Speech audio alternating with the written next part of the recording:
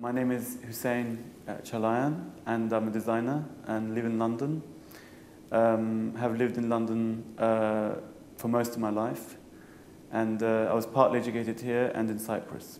Well, I came to London first simply because my father lived here, um, and um, all Turkish Cypriots have a connection with London because we were a colony. Um, my father came for education and he stayed. Um, and I think that almost all Turkish Cypriots I know have come to London at some point in their lives because they have relatives here, they'd come for holidays, they'd, they'd, you know, they get educated here, go back to Cyprus. Um, so there has always been this back and forth between Cyprus um, and London, also for Greek Cypriots too. When I was 18, I started um, attending uh, the fashion course at St Martin's. I got in, um, and the, in those years, it was, you know, it was a big deal to go into St Martin's. And um, I was there for four years, uh, where, where you had to do a year, years of you know, one year of experience in the industry. And then I graduated in '93, um, you know, not knowing really what I was going to do. Uh, and I was doing this window at Browns, which was a, a sort of at the time quite a um, kind of coveted spot, let's say, because it was given, it was given to John Galliano 10 years before that. So the, pre the press picked up on it. And suddenly I started to get commissions and, um, and coverage when I wasn't really planning to do, you know, anything really. And then I remember speaking to the main buyer at Browns, um, Joan Burstein, saying to me, if you don't do something now with this interest, you know, you just, you know, nothing will happen. So I thought, okay, I'll, I'll take this opportunity to, you know, maybe turn this into a, a business. And um, there was a friend, uh, there was a friend whose brother was interested in investing in, in, you know, in this new venture. And we became partners. And um, so for sort of several years after that, uh, you know, step by step, uh, we grew our business. You know, we started to show in London Fashion Week, you know, sell to Japan, you know, and the number of stores that bought our stuff would, would you know, increase every season. Um, and since then, it's just been a, a, journey, to be honest. Honestly, I think that um, at the time in London, in the sort of uh, in '93, '94, um, it you know it was just after the recession, so there wasn't a lot going on. There weren't many designers. Um, and I think that uh, there was room for new designers.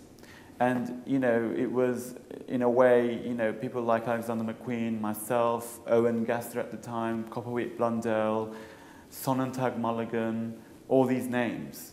Uh, some of them which are still carrying on and some of them are not. Um, and I think that uh, there was definitely hunger for new designers to come up.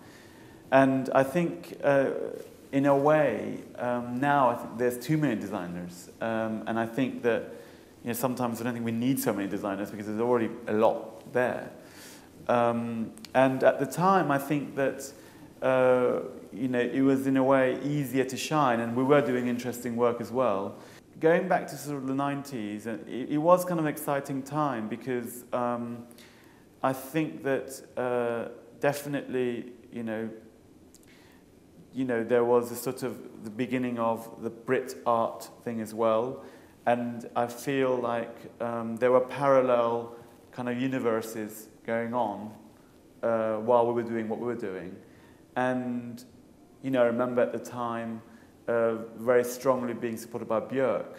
And, you know, she, wearing my, her, she was wearing my stuff at concerts and, you know, was really uh, there sort of in, in, as a sort of force.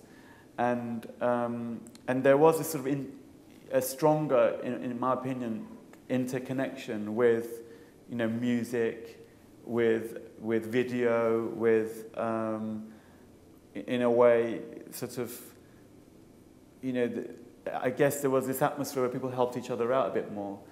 Even though it was behind the scenes, it, it had an effect. Um, I think Although then on a mass level, through magazines like Wallpaper, you know, different facets of, you know, life and culture got closer and closer, you know, aesthetically. Like, you know, interiors were being, just, you know, shown in the same uh, magazine, you know, same magazine which is showing fashion and showing also industrial design, etc. So there, there has, you know, this culture then in the late 90s emerged and it sort of, you know, um, in a way it became more mass. But I think that in the earlier years, when we first started, um, I feel more than ever at that time, uh, you know, I felt more connected in a way um, with other areas.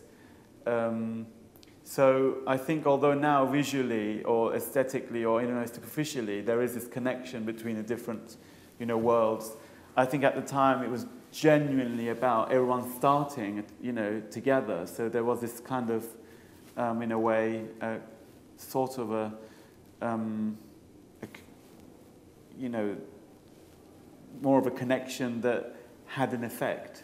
I think London has always been uh, a place where the best music has come out. You know, a lot of good art has come out. You know, good a lot of good films have come out. So many good things have come out of England. Uh, I think um, the fact that obviously, uh, you know, London in itself is a you know multinational place. I think that adds to the to, to the sort of mix, let's say, and to the openness of it all. And there is definitely with that a kind of Anglo-Saxon acceptance of anything that in a way sets London apart from other cities in Europe.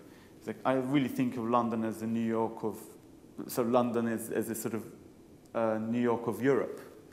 And I think that um, in also because of the history of colonialism in England, you know, England had to bear the, you know, uh, the influx of immigration uh, for a longer period of time than maybe most of the countries.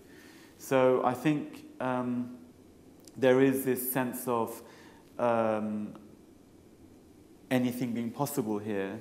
I think um, the fact that you can have someone like Nasser Hussain be the head of a cricket team, it, would, it means only happening now in other parts of the world.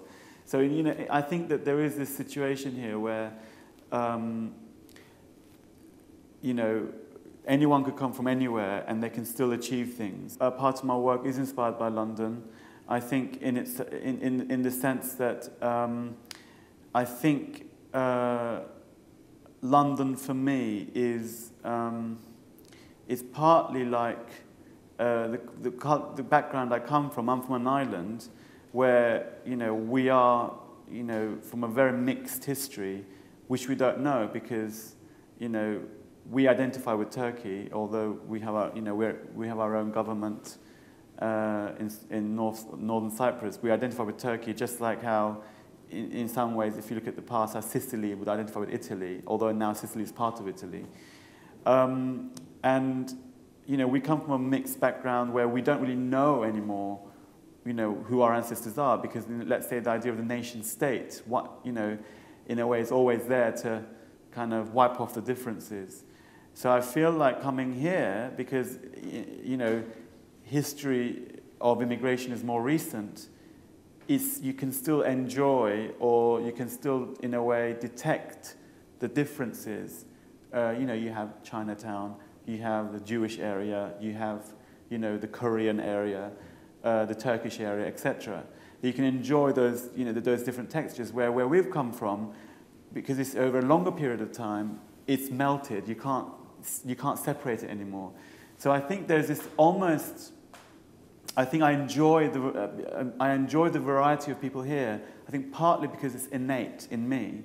So I have a strong interest in, you know, movements of people across time, across land, like, you know, why people have gone from one spot to another, was it for economic reasons, for geographical reasons, whatever it may be, what, was it the wars? And I think because of this, in a way, London Life keeps that innate kind of curiosity alive for me because I can really see and enjoy all the differences.